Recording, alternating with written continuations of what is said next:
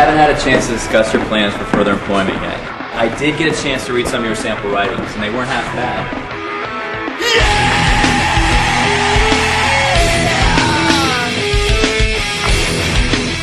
And he starts sneaking up to the bedroom with a couple people, and he busts open the door, right? But no one's inside, right? But get this Henry jumps in behind them, all naked and shit. Starts jumping on the bed, flapping his little fucking Philippines around.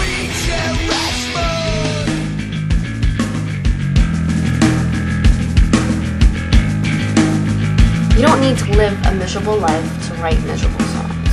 When are we going on? You're on last. Last! Well, I want you to take the entire summer to explore something that interests you. And if it's good, we'll run it in our fall issue. And this is a great way to break into journalism. One minute, it's fucking huge. The next minute, nothing, non-existent. I mean, you always wanted to go away with the band. Really, I just think you want to go away. Yo, uh, Chuck Lucas from the Rampage. Yeah, we've heard. I won't forget this path. Well, c- calm yourself, man. Relax. Shut up.